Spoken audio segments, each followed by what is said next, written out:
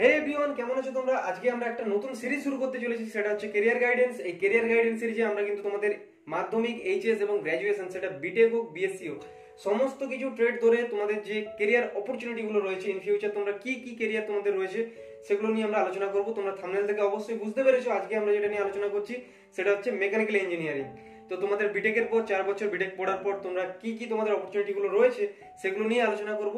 তো মেন টপিকে আসার আগে একটাই রিকোয়েস্ট তোমরা যারা নতুন ভিজিটার রয়েছো, যারা নতুন প্রথমবার আমাদের চ্যানেলটাকে দেখছ, তো তোমরা প্লিজ সাবস্ক্রাইব করো, কারণ আমরা এইরকম এডুকেশন রিলেটেড বিভিন্ন ইনফরমেটিভ ভিডিও তোমাদের প্রোভাইড করে থাকি। তো চলো, এবার মেন টপিকে যাওয়া যাক।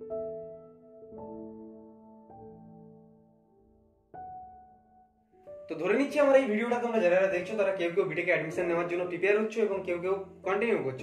তো তোমাদের যে জিনিসগুলো আমি আলোচনা করব, সেগুলো তোমাদের কোন কোন কোম্পানিতে তোমাদের অপরচুনিটি গুলো থাকতে পারে এবং স্যালারি স্কেল কেমন থাকতে পারে। এছাড়াও রিক্রুটমেন্ট প্রসেস যেটা রয়েছে, সেটা অফ ক্যাম্পাসিং হোক অন ক্যাম্পাসিং হোক, দুটোই আমি আলোচনা করব। এছাড়াও যেটা মেনলি আলোচনা করব, সেটা হচ্ছে তোমাদের অ্যাডিশনাল স্কিল ধরো তুমি চার বছর বিটেক পড়লে এবং পড়ার পরে তুমি টেন সিজিপিএ নাইন সিজিপিএ ভালো একটা মার্কস পেয়ে তুমি পাস করলে, সবই কিছু কমপ্লিট করলে।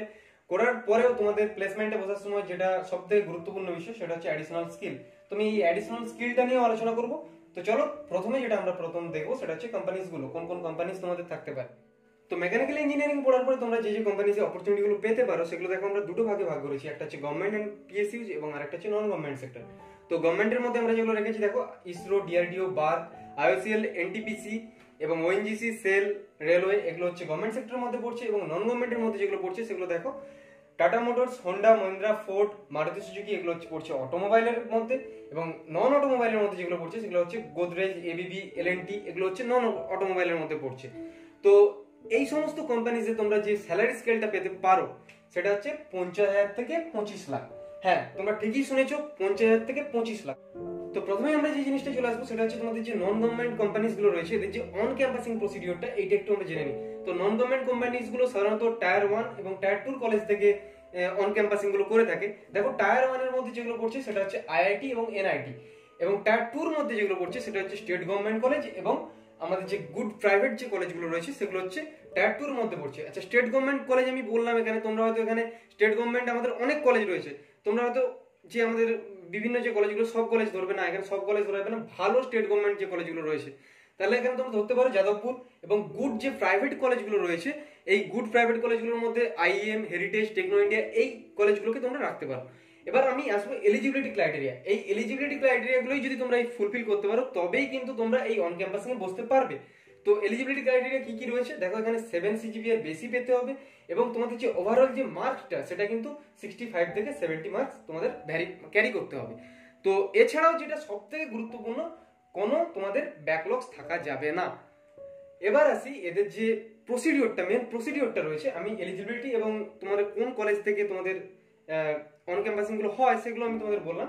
এবার আমি আসছি তোমাদের যে প্রসিডিওরটা মেন প্রসিডিওরটা দেখো কোম্পানিজগুলো প্রথমে তোমাদের একটা রিটিন টেস্ট নেবে এবং এই রিটিন টেস্টের দুটো পার্ট রয়েছে। একটা হচ্ছে অ্যাপটিটিউড আর একটা হচ্ছে টেকনিক্যাল এই টেকনিক্যালে তোমাদের যদি ভালোভাবে ক্লিয়ার করতে হয়, তো তোমাদের যে সাবজেক্টগুলোর উপর বেশি করে জোর দিতে হবে, সেগুলো দেখে নাও। Basic thermodynamics IC engine manufacturing এবং মেটেরিয়ালস এই সাবজেক্টগুলোর উপর তোমাদের জোর দিতে হবে। তো অনেক কোম্পানিজই আছে, এই রাউন্ডটার পরেই তোমাদের সরাসরি রিক্রুট করে দেয়।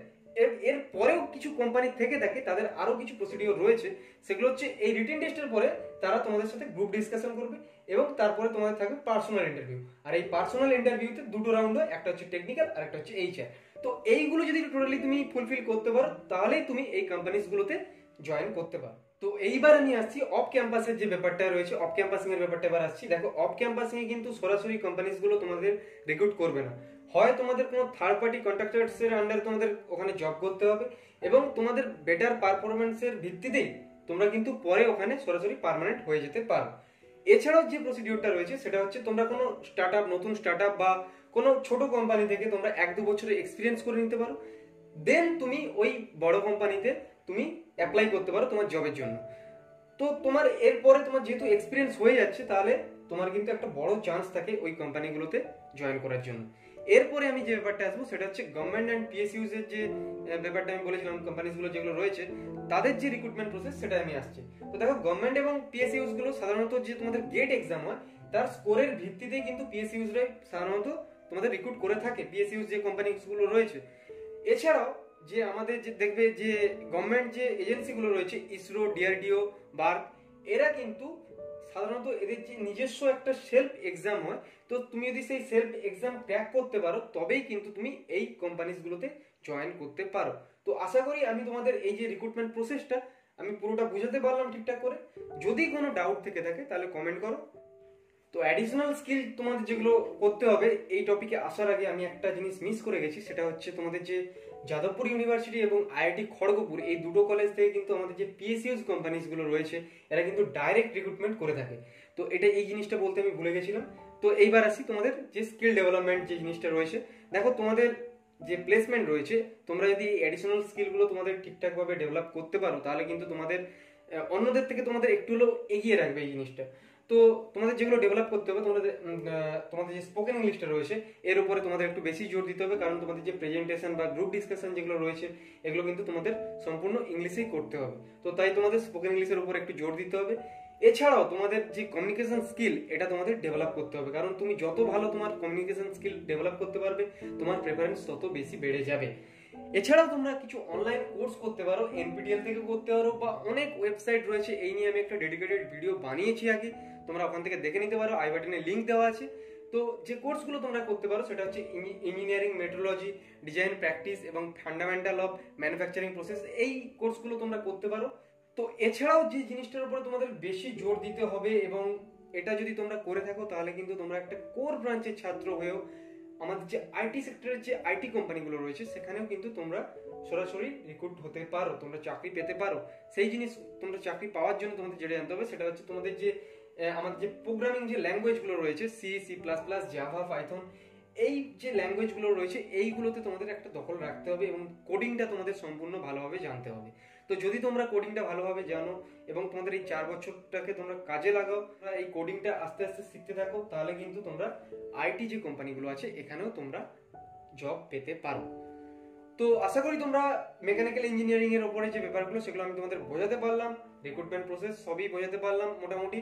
তো এরপরেও যদি তোমাদের কোনো কোশ্চেন থেকে থাকে, তাহলে তোমরা কমেন্ট করো। আর এমনই সব ইনফরমেটিভ ভিডিও যদি পেতে চাও, তাহলে সাবস্ক্রাইব করো ইওর অনলাইন সায়েন্স ক্লাসরুম তো আজ এই পর্যন্ত টেক কেয়ার স্টে সেফ